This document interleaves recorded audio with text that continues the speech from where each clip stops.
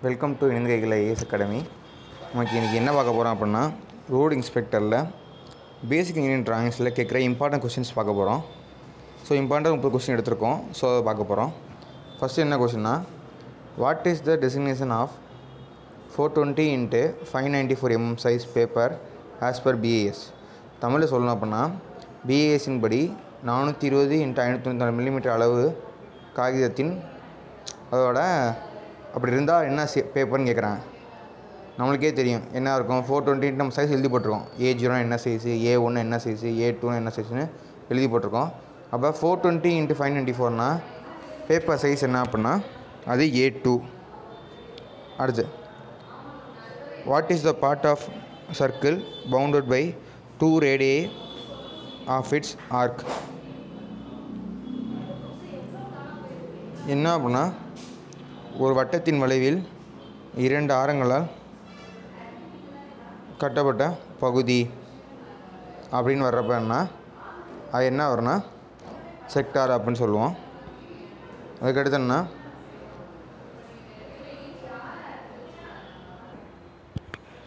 என்ன சொல்கிறோம்னா ஒரு வட்டத்தின் வளைவில் இரண்டு ஆரங்கள் கட்டப்பட்ட பகுதிங்கிறது பிரிவு ஆ செக்டார்னு சொல்கிறோம் தமிழ் சொன்னோம்னா செக்டார்.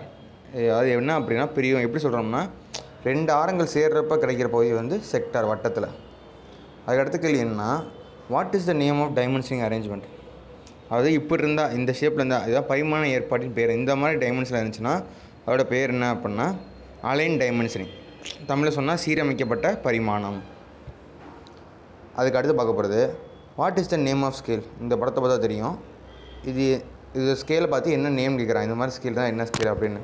இது பேர் வந்து வெர்னியர் ஸ்கேல் இது பேர்னா வெர்னியர் ஸ்கேல் தமிழ் சொன்னால் வெர்னியர் அளவுகோல்.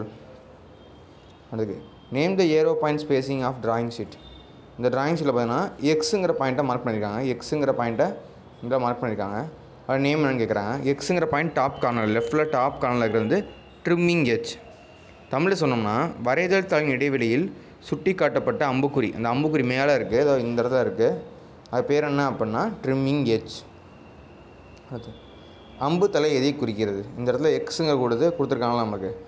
ஒரு நேம் என்னென்னு கேட்குறாங்க. இங்கிலீஷ் சொன்னோம்னா ஆப்ஷன் சி எபோனி எஜ் இது பேர் என்ன? எபோனி எஜ்ஜும்பாங்க இதுக்கு பேர். அதுக்கு அடுத்து ஏழாவது கேள்வி. What is the part marked as X இந்த படத்தில் எக்ஸுங்கிறது மார்க் பண்ணியிருக்காங்க. இது எதை குறிக்குன்னு கேட்குறாங்க. இது எதை குறிக்குதுன்னா ஆப்ஷன் பி ஹெட்டு அதாவது தமிழில் சொன்னால் தலைன்னு சொல்லுவாங்க. அது what is the angle between stock or head and blade in T square அதாவது டி ஸ்கொயரில் ஸ்டாக்கும் ஹெட்டுக்கும் அதாவது ஸ்டாக்கர் ஹெட்னு சொல்லுவாங்க. அதுக்கும் பிளேடுக்கும் உள்ள ஆங்கிள் கேட்குறாங்க டி ஸ்கொயர் பார்த்துருப்பீங்க. அதில் ஆங்கிள்னா ஹெட்டுக்கும் பிளேடுக்கும் உள்ள ஆங்கிள் வந்து ninety degree option D ninety degree what is the A four dis designation of untrim size of drawing size A four size normal சைஸ்னால் two ten into two ninety seven ஆனால் untrimmed அதில் அதெல்லாம் கொஞ்சம் அதிகமாக இருக்கும். அப்போ என்ன அப்படின்னா option C two forty into three thirty mm அது வரைதலில் வெட்டப்படாத அளவிற்கு வெட்டப்படும் அளவுனா two ten into two ninety seven வெட்டப்படாமல் இருந்துச்சுன்னா அளவு வந்து option C two forty into three thirty mm அடுத்து which BIS code number is recommended folding of drawing sheet அது வரைபடத்தில் மறக் மடக்கிறதுக்குன்னு சொல்லி பிஐஎஸ் குறியீடு பரிந்துரைக்கப்பட்டுள்ளது. வரைபடத்தாள் மடக்குவதற்கு எந்த பிஐஎஸ் குறியீடு எண் பரிந்துரைக்கப்படுகிறது? அப்படின்னா option C IS one one double six four nineteen eighty six எல்லாருக்குமே தெரியும் ஒன் ஒன் டபுள் சிக்ஸ் ஃபோர்னு படிச்சிருப்போம். ஆனால் எந்த இயர்னு படிச்சிருக்க மாட்டோம். கொஸ்டின் இப்படி கேட்பாங்க. பண்ணனா IS one one double six four nineteen eighty six இதெல்லாம் இம்பார்ட்டன்ட் கொஸ்டின்ஸ் அடுத்த கொள்கை ரொம்ப important how many vertical folds come under A zero size trimmed drawing sheet அதாவது ஏ ஜீரோ அளவுள்ள ட்ரிம் செய்யப்பட்ட வரைதல் தாளில் கீழ் எத்தனை செங்குத்து மடிப்புகள்? அதாவது வெர்டிக்கலாக எத்தனை மடக்க முடியும்? ஏஜுர சைஸை அப்படின்னு கேட்பான். நம்மளுக்கு தெரியணும். ஆப்ஷன் பி சிக்ஸாக மடக்கலாம். அடுத்து. Option B six what is the untrimmed size of A five designation drawing sheet அதாவது அன்ட்ரிம்னாலே வெட்டப்படாத அதாவது ட்ரிம் செய்யப்படாதுன்னு அர்த்தம். என்ன சொல்கிறேன் ஏஃபை வரைதல் தாளில் ட்ரிம் செய்யப்படாத அளவு என்ன? இப்போ ஏஃபை சைஸ்னால் நார்மலாக வந்து நம்ம அளவு தெரியும். ஆனால் அன்ட்ரிம்னு கேட்டாங்க அப்படின்னா option D one sixty five into two forty one sixty five into two forty தான் one sixty five into two forty அடுத்து thirteen question what is the size and height in mm for material list and dimension drawing அது பொருள் பட்டிக்கும் மற்றும் வரைபடம் பரிமாணத்திற்கான millimetre அளவு. அதாவது ஹைட்டுக்கும் உயரத்துக்கும் length வந்து என்ன? த்ரீ டு ஃபோர் ஆல்ரெடி நம்மளுக்கு தெரிஞ்சது தான் என்ன வரும்? த்ரீ டு ஃபோர் அடுத்து. What is the description of E one hidden outline அது இ ஒன் மறைக்கப்பட்ட விழுப்புரங்களின் விளக்க அது இ ஒன் யூஸ் பண்ணுவோம். E இ ஒனுங்கிற வார்த்தை நம்ம வந்து யூஸ் பண்ணுவோம். அது எதுக்காக யூஸ் பண்ணுறோம் இ e ஒனுங்கிற இது ஹிடன் எதுக்கு யூஸ் பண்ணுவோம் அப்படின்னா எந்த லிங்காக யூஸ் பண்ணுவோம் அப்படின்னா dashed thick option C dashed thick லைன்ஸ்க்காக தான் நம்ம e ஈவன் லைனை நம்ம யூஸ் பண்ணுறோம் அது தமிழில் சொல்கிறோம் அப்படின்னா e ஈவன் மறைக்கப்பட்ட விழிப்புணர்வு விளக்கம் என்ன அப்படின்னா தடித்த கோடு அதாவது நம்ம திக்காக கோடு போடணும்னா e ஈவனுங்கிற இதை நம்ம யூஸ் பண்ணுவோம். ஈவன் யூஸ் பண்ணுறோம் அப்படின்னா போல் லைன் போடுறோம்னு அர்த்தம் அந்த மாதிரி. அதுக்கடுத்து fifteen how the dimensions can be read in alignment system of dimension technique தமிழில் சொல்லணும்னா பரிணாம நுட்பத்தில் சீரமைக்கப்பட்ட அமைப்பில் பரிமாணங்களை எவ்வாறு படிக்கலாம்? எந்த மாதிரி ரீட் பண்ணலாம் கேட்குறாங்க அந்த இதை எழுதுனதை எந்த மாதிரி ரீட் பண்ணலாம் கேட்குறாங்க ஆப்ஷன் பார்த்தீங்கன்னா left hand edge of drawing sheet right hand edge of drawing sheet top to bottom bottom to top தமிழில் சொல்லணும்னா வரைதாளின் இடது கை விளிம்பு வரைதாளின் வலது கை விளிம்பு மேலேருந்து கீழாக படிக்கணும் இல்லை கீழேருந்து மேலாக படிக்கணும். ஸோ இந்த மாதிரி கொஸ்டின்லாம் கொஞ்சம் உங்களுக்கு வந்து டவுட்டாக இருக்கும். எப்படி சார் வரலாம் அப்படின்னு. இது வந்து option B right hand edge of drawing sheet வரைதாளில் வலது கை விளிம்பில் தான் என்ன பண்ணணும்? நம்ம படிக்கணும். வரைதாளின் வலது கை விளிம்பில் தான் படிக்க ஆரம்பிக்கும் ரைட் ஹேண்ட் சைடில் தான் right hand edge of drawing sheet தான் நம்ம வந்து படிக்க ஆரம்பிக்கணும். அடுத்து what is the description of G one in centre line அது மையக்கோட்டில் உள்ள ஜி ஒன்ங்கிற வார்த்தையை யூஸ் பண்ணுவோம் கொஸ்டினில் அந்த அதில் எழுதுகிறப்ப ட்ராயிங்கில் ஜி ஒன்ங்கிற வார்த்தையை யூஸ் பண்ணுவோம் அது எதுக்கு யூஸ் பண்ணுறோம் அப்படின்னா ஆப்ஷன் ஏ செயின் தின் அதாவது மெல்லிசாக கோடு வரைகிறோம் அப்படின்னா. சரிங்களா மெலிஸ் கோடு வரைகிறோம். செயின் லைனில் அதாவது செயின் வரைகிறப்ப மெலிசா கோடு வரைக்கு யூஸ் பண்ணுறது அது ஜியோன் என்ன பண்ணிங்க அப்படின்னா செயின் லைனில் தின் கோடு வரைகிறோம்னு அர்த்தம். தின்னா. ஸோ அதுதான் வந்து meaning option A chain thin. Already பார்த்துருக்கோம். இ e ஒன்றுங்கிறது ஆல்ரெடி பார்த்தோம். ரெண்டு கொஸ்டின் படிங்க இ ஒன் பார்த்தோம். E இ ஒன் என்ன பார்த்தோம்? E ஒன்றுங்கிறது dash thick E one use பண்ணால் டேஷ் திக்கு ஆப்ஷன் சி இதே நம்ம கேட்குறது ஜி ஒன் ஜி ஒன்னா செயின் தின் ஆப்ஷன் ஏ அப்படின்னா சங்கிலி மெல்லிய அப்படின்னு அர்த்தம். அதுக்கு அடுத்து பதினேழு.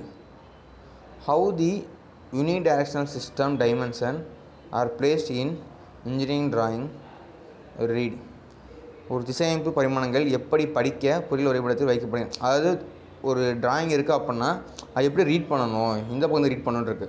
From the top the them from the top of drawing படிக்கணுமா? இல்லை from the left side to right படிக்கணுமா? இல்லை from the bottom of drawing படிக்கணுமா? இல்லை ரைட் சைடு லெஃப்ட் படிக்கணுமான்னு சொல்லி இருக்குது இப்போ தமிழ் சொன்னால் வரைபடத்தில் மேலிருந்து படிக்கணுமா? இல்லை வரைபடத்தின் வலப்பக்கமாகவா? இல்லை வரைபடத்தின் அடிப்பகுதியிலா?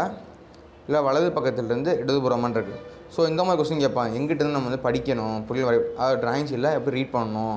அப்படின்னு கேட்பாங்க. நம்ம என்னென்னா from the bottom of the drawing வரைபடத்தின் அடிப்பகுதியில் இருந்தால் நம்ம கணக்கு எடுத்துக்கணும் ஸோ இதே மாதிரி கொஸ்டின் தான் மேலே வந்துச்சு. அது வேறு இது வேறு. நம்ம என்னென்னா from the bottom of the drawing பழைய கொஸ்டின் பார்த்தோம்னா உங்களுக்கு திரும்ப நல்லா தெரியும். பரிமாணம் இப்போ இந்த கொஸ்டின் கேட்டிருந்தாங்க. How the dimension can read alignment system dimension technique என்னென்னு கேட்டிருந்தாங்க. அதனால் right hand edge of drawing sheet எவ்வாறு படிக்கலாம்? சீரமைக்கப்பட்டது. இது எப்படின்னா ஒரு திசை அமைப்பு பரிமாணங்கள் எப்படி படிக்க பொறியியல் வரைபடத்தில் வைக்கப்படுகின்றன அப்படிங்கிறப்ப from the bottom of the drawing sheet so அது வேறு இது வேறு. தெளிவாக புரிஞ்சுக்கணும் கொஸ்டின் எப்படி தான் கேட்பாங்க ஓகே அடுத்து. பதினெட்டு. வாட் இஸ் த சைஸ் அது height in mm for subtitle of drawing அதாவது டைட்டில் நம்மளுக்கு தெரியும். சப்டைட்டில் கொடுக்குறப்ப எப்படி தர்றது? சப்டைட்டிலுக்கு என்ன அளவு தர்றது? வரைபடத்தின் துணை தலைப்புகளுக்கு அளவு அளவு உயரம் எப்படி சொல்லலாம்? அப்படின்னு கேட்குறான் வரைபடத்தின் துணை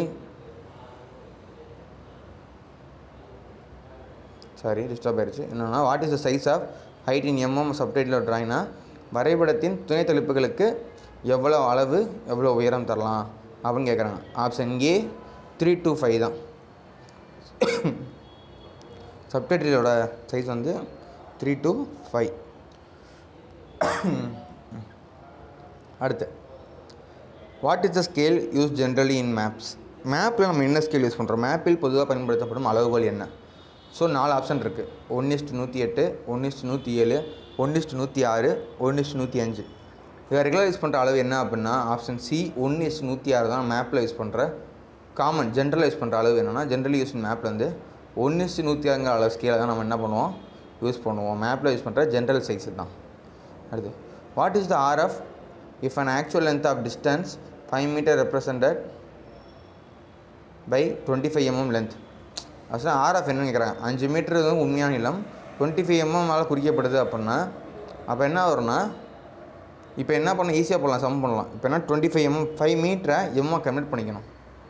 ஃபைவ் மீட்டரை எம்எம்மாக கன்வெர்ட் பண்ணிக்கணும். இப்போ என்னென்னா ஃபைவ் தௌசண்ட் ஆயிரும். அது five hundred centimetre five thousand ஆயிரும். அப்போ twenty five divide by five thousand அடிச்சு போட்டிங்க அப்படின்னா one is to two hundred option B அப்படின்னு வந்துடும் மீட்டரை எம்எம்மாக கன்வெர்ட் பண்ணிக்கிட்டு டிவைட் பண்ணோம் அப்படின்னா ஆன்சர் வந்துடும் வருது. What is the name of given scale இதோ இங்கே கொடுத்துருக்காங்க. இந்த ஸ்கேல் பார்த்துருப்பீங்க. இதுக்கு நேம் என்ன அப்படின்னு கேட்குறாங்க அது பிளெயினா கம்பேரிட்டிவாக வெர்னியரா டயகனலா தமிழ் சொன்னால் பிளைனாக ஒப்பீடா வெர்னியரா மூளைவிட்டம் இது பார்த்தாவே தெரியுது டயகனல் பாருங்கள் டயகனல் வருதுல்ல. ஸோ டயகனல் வரதுனால இது பேர் என்னென்னா டயகனல் ஸ்கேல் பார்த்தா இது பேர் என்னது? டயகனல் ஸ்கேல் அப்போ ஸ்ட்ரைட்டாக பார்த்தது வெர்டிகல் ஸ்கேல் அப்போ பார்த்தது இது வந்து டயகனல் வந்தால் இது வந்து டயகனல் ஸ்கேல் கேட்காங்க what is the name scale கேட்பாங்க. அடுத்து which scale is use to construct angle in absence of protractor diagonal ஸ்கேலா comparative ஸ்கேலா கார்ட் ஸ்கேலா பெயின் ஸ்கேலா அது ப்ரொடக்டர் இல்லாத நிலை உன்ட்ட ப்ரொடக்டரே இல்லை. ப்ரொடக்டரே நம்மகிட்ட இல்லை. ப்ரொடக்டர் இல்லாத நிலையில் கோணங்களை நம்ம வரையணும். அப்போ எந்த ஸ்கேல் யூஸ் பண்ணால் ப்ரொடக்டர் இல்லாமே நம்மளால் ஆங்கிள் வரைய முடியும் அப்படின்னு பார்க்கணும். என்ன ஸ்கேல் அப்படின்னா சார்டு ஸ்கேல் தமிழ் சொன்னால் நான் அளவு.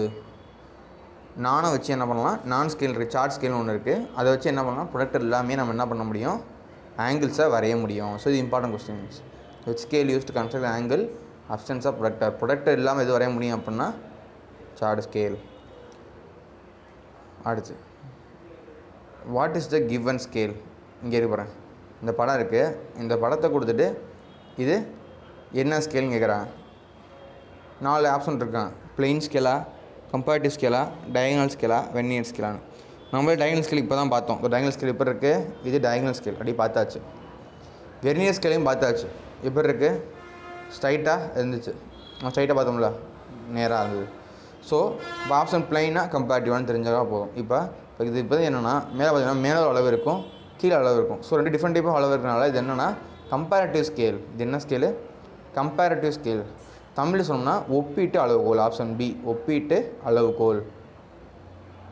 இது பேர் என்ன? ஆப்ஷன் பி ஒப்பீட்டு அளவுகோல். டுவெண்ட்டி ஃபோர் டுவெண்ட்டி ஃபைவ் கிடையாது. டுவெண்ட்டி சிக்ஸ் தான் நமக்கு. What is the name of scale is denoted by five is to one five is to ஒன்று கொடுத்துருந்தா இது என்லார்ஜ் ஸ்கேல் ஐந்து இஸ் டு ஒன்றால் குறிக்கப்படும் அளவுகளின் பேர் என்னன்னா பெரிதாக்கப்பட்ட அளவு. ஏன்னா அஞ்சுங்கிறது பெரிய நம்பர் ஒன்றை விட. அதனால இது என்லார்ஜ் ஸ்கேல் இதே அது ஃபஸ்ட்டு ஃபஸ்ட் சைடு அதாவது ரேஷியோ பிரிக்கிறப்ப மொதல் பக்கம் வேல்யூ அதிகமாக இருந்துச்சுன்னா அது பெரிதாக்கப்பட்ட அளவு. புரியுங்களா இதே ஈக்குவலாக இருந்துச்சுன்னா சப்போஸ் ஒன் இஸ்ட்டு ஒன்று இருந்துச்சுன்னா அது ஃபுல் ஸ்கேல் அது பண்ணால் ஒன் இஸ்ட்டு டூ ஒன்று அங்கே அப்படி இருந்துச்சுன்னா அது ரிடியூஸ் ஸ்கேல் ஸோ லெஃப்ட் சைடில் பெருசாக இருந்துச்சுன்னா பெரிதாக்கப்பட்ட அளவு. ரைட் சைடில் பெருசாக இருந்துச்சு அப்படின்னா அது குறைக்கப்பட்ட அளவு. ரெடியூஸ் ஸ்கேல் ஆயிரும். ஸோ இதுக்கு ஆன்சர் என்ன அப்படின்னா ஃபைவ் இஸ்ட் ஒன் குறிக்கும் அளவுகளின் பேர் என்ன அப்படின்னா ஆப்ஷன் டி என்லார்ஜ் ஸ்கேல் ஏன்னா ஃபைங்கிற வேல்யூ பெருசு ஃபஸ்ட்டு ஸோ அதனால் இது வந்து என்லார்ஜ்டு ஸ்கேல் அடுத்து. What is the designation of drawing sheet used in seven hundred into five hundred into fifteen mm size of drawing board question நல்லா பார்த்துவாங்க அவன் டிராயிங் போர்டு நேம் என்னன்னு கேட்கல. இப்போ seven hundred into five hundred fifteen எம்எம்க்கு ஒரு drawing board size நம்மளுக்கு தெரியும். அதில் யூஸ் பண்ணுற ட்ராயிங் ஷீட்டுடைய நேம் என்னன்னு கேட்குறாங்க அதான் முக்கியம். அதில் யூஸ் பண்ணுற ட்ராயிங் ஷீட்டோட நேம் என்னன்னு கேட்குறாங்க இது என்னென்னா ஏ டூ இது என்ன சீட் யூஸ் பண்ணுறோம் ஏ டூ யூஸ் பண்ணுறோம் ஆல்ரெடி சொல்லியிருக்கோம் பி ஒன் ட்ராயிங்னா பி ஒன் ட்ராயிங் போர்டில் ஏ ஜீரோ யூஸ் பண்ணணும். அதை நம்ம பார்த்துருப்போம். இப்போ என்னென்னா இதில் வந்து என்ன ஷீட் யூஸ் பண்ணுறோம் அப்படின்னா A two drawing sheet already first video பார்த்தது தெரியும். அதில் போட்டிருப்போம் என்னென்ன போர்டுக்கு என்ன ஷீட் யூஸ் பண்ணுறோம் அப்படின்னு. ஸோ இந்த சைஸ் ஃப்ரீ பார்க்குறப்ப என்ன அப்படின்னா அதை வந்து ஏ டூ ட்ராயிங் ஷீட் தான் யூஸ் பண்ணுறோம் யூஸ் பண்ணுற ட்ராயிங் ஷீட் நேம் வந்து ஏ டூ இது வந்து seven hundred and five hundred ஃபிஃப்டிங்கிறது A two சைஸோட அளவு கிடையாது. அது போர்டோட அளவு. டிராயிங் போர்டு அளவுக்கு என்ன சைஸ் ஷீட் யூஸ் பண்ணுங்கிறது ஏ டூ அடுத்து. What is the maximum degree can be measured in circular protractor வட்டவில் அளவிடக்கூடிய அதிகபட்ச அந்த அளவு என்ன? டிகிரி ஆங்கிள் தான் கேட்குறாங்க. ரவுண்டாக இருக்கும்ல ப்ரோ சர்க்கிள் ரவுண்டாக சொல்லுவாங்க ப்ரோ சர்க்கிள் அத்தனை டிகிரி அளக்க முடியாதுல்ல ஆப்ஷன் ஏ முந்நூற்றி அறுபது degree where the rear view place the first angle of projection தமிழில் சொன்னோம்னா முதல் கோணத்திட்டத்தில் பின்புற காட்சி எங்கே வைக்கப்பட்டுள்ளது? எப்போவுமே டிராயிங் வரைப்போ நாலு இதாக வரைவோம். First angle of projection second angle ப்ரொஜெக்ஷன்லாம் வரைவோம். அதெல்லாம் நம்ம ஃபஸ்ட் இயரில் வரைஞ்சிருப்போம். இப்போ என்ன கேட்குறாங்கன்னா first angle of projection first angle of ப்ரொஜெக்ஷனை இந்த பக்கம் வரைவோம் அப்படின்னா option C left side of right side view நம்ம என்ன பண்ணுவோம்? வலது பக்கத்து அதாவது ரைட் சைடு வியூ என்ன பண்ணுவோம்? Left side of right side வியூவை வரைவோம் ரைட் சைட் வியூவை லெஃப்ட் சைடில் வரையும். அதுதான் நம்ம இது. தமிழில் சொல்லணும் அப்படின்னா வலது பக்கத்தையும் இடது பக்கம்னு வருது. வலது பக்கத்தை இடது பக்கத்தில் வரைவோம் அதுதான் நம்மளோட ஃபஸ்ட் ஆங்கிள் ப்ரொஜெக்ஷன் எப்போவுமே. அதுக்கு அடுத்து where the plane place in third angle projection மூணாவது ஆங்கிள் ஆஃப் ப்ரொஜெக்ஷன் எங்கே வைப்போம்? First angle ப்ரொஜெக்ஷனை left side of right side view தமிழில் சொல்லணும் அப்படின்னா வலது பக்கத்தையும் இடது பக்கம் வைப்போம். அது லெஃப்ட் சைடாக ரைட் சைடு ஆப்ஷன் சி அதே தேர்ட் ஆங்கிள் ஆஃப் ப்ரொஜெக்ஷன் அப்படின்னா என்ன சார் மூணாவது மூன்றாவது கோண திட்டத்தில் திட்டம் எங்கே வைக்கப்பட மூணாவதாக பண்ணுறப்ப ப்ரொஜெக்ஷன் பண்ணுறப்ப ட்ராயிங் ப்ரொஜெக்ட் பண்ணுவோம். First angle projection second angle projection third angle இப்போ தேர்ட் ஆங்கிள் ப்ரொஜெக்ஷன் பண்ணுறப்ப எங்கே சார் வைப்போம் அப்படின்னா அபோவ் த எலிவேஷன் எலிவேஷனாக தெரியும் டாப்பில் எலிவேஷனுக்கு மேலே நம்ம என்ன பண்ணுவோம்? தேர்ட் ஆங்கிள் ஆஃப் ப்ரொஜெக்ஷனாக வைப்போம். ஆப்ஷன் பி தமிழ் சொன்னோம்னா மேலே உயரம் அபோவ் எலிவேஷன் அங்கே தான் என்ன பண்ணுவோம்? தேர்ட் ஆங்கிள் ப்ரொஜெக்ஷனாக வைப்போம்.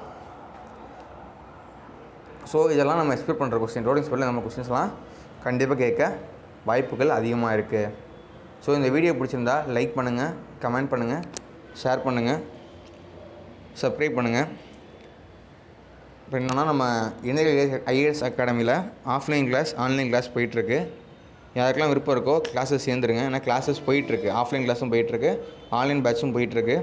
டெஸ்ட் சீரியஸும் போயிட்டுருக்கு.